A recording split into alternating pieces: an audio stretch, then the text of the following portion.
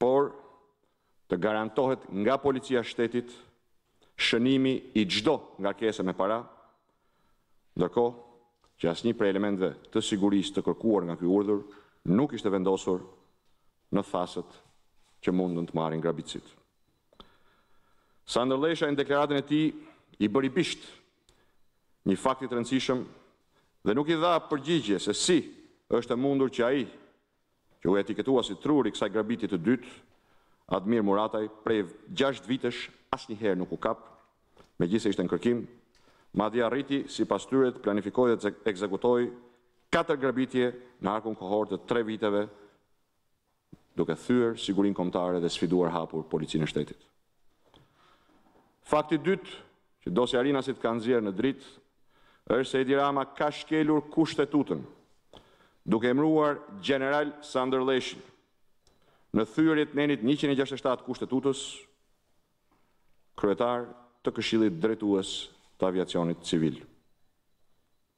Kjo shkelje e hapur e ligjit e ka vendosur Sandër Lleshajn në këtë detyrë që para grabitjes së parë të Rinasit, thënë ndryshe nën drejtimin e Këshillit të Aviacionit Civil të Republikës së Shqipërisë nga Sandër Lleshaj, aeroporti i Rinasit nuk është grabitur një herë, por dy herë.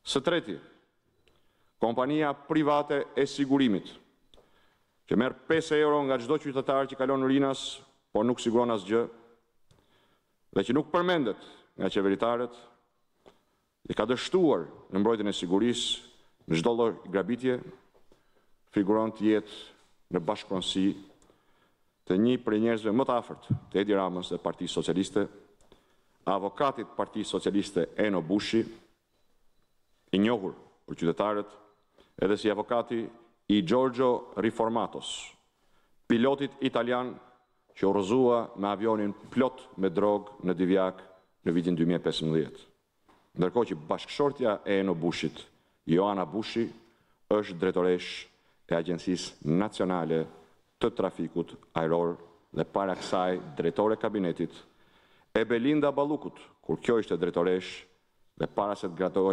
gradohej ministre përgjegjëse për aeroportin e Rinasit. Në vijim të këtyre fakteve, më shumë pyetje shtrohen dhe mbeten pa përgjigje, ndërkohë që logoreja e Ramës dhe vartësve të tij rreket Ta mbulojë të vërtetën me propagandë, me mashtrime.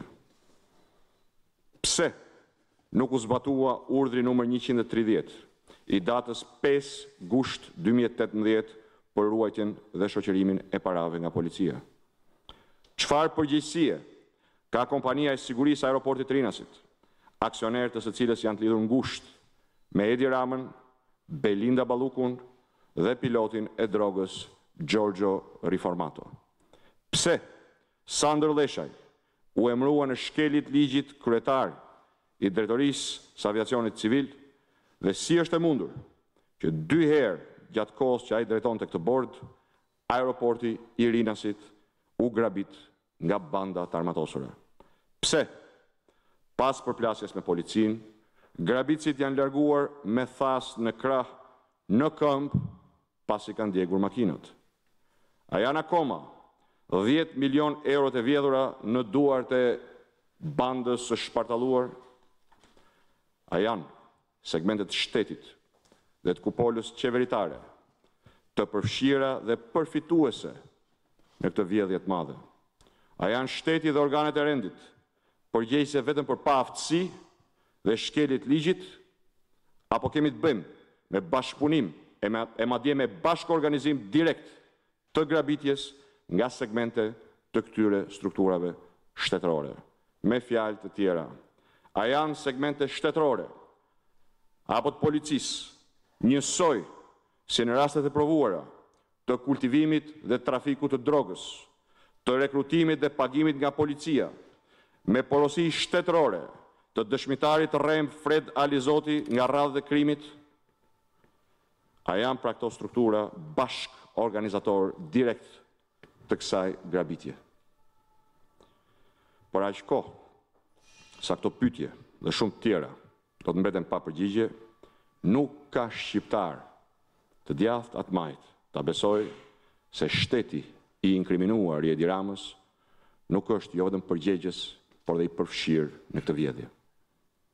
Bashkëpunimi me krimin e kësaj qeverie dhe zotësia për t'sajuar skenarë të përbashkët është vërtetuar më shumë se një herë.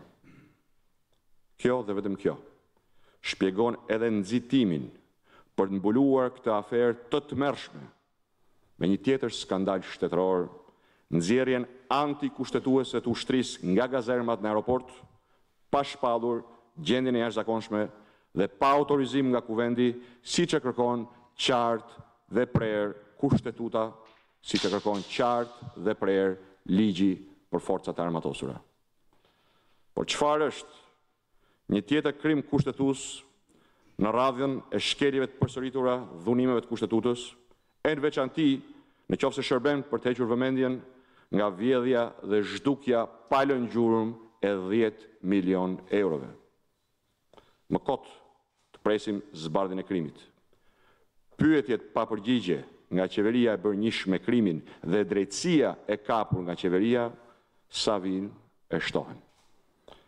Kjo fatkeqësisht nuk përbën më lajm. Kjo qeveri dhe ky kryeministër e grabisin çdo ditë këtë vend dhe qytetarët e këtij vendi me forma e mënyra të ndryshme. Grabitja në aeroport është vetëm një prej këtyre formave. Ndaj zgjidhja e vetme për të ndalur grabitje si kjo e Rinasit dhe shkatërrimin total të sigurisë publike dhe kombëtare, zgjidhja e vetme për të ndalur grabitjen e përditshme të shqiptarëve. Zgjidhja e vetme për të zbardhur dhe çuar para drejtësisë të gjithë fajtorët përgjegjës nga i pari tek i fundit, zgjidhja e vetme, pa të cilën e keqja vetëm do të vazhdojë të thellohet siç është thelluar, nuk është më, as tek shteti i rënë as tek policia, vegël barbare kundër qytetarëve të pafajshëm dhe pulë e lagur para kriminelëve, as te prokuroria e kapur për të mbyllur aferat e tmerrshme korruptive, zgjidhja e vetme tani është në dorën e sovranit. Është në dorën e popullit, është në duart tuaja të dashur bashkëqytetarë, që të bashkohemi pavarësisht çdo dallimi dhe të ngrihemi më fuqishëm se kurrë për të rikthyer Kushtetutën, ligjin, rendin dhe sigurinë pa të cilën askush nuk është i sigurt në shtëpinë e tij.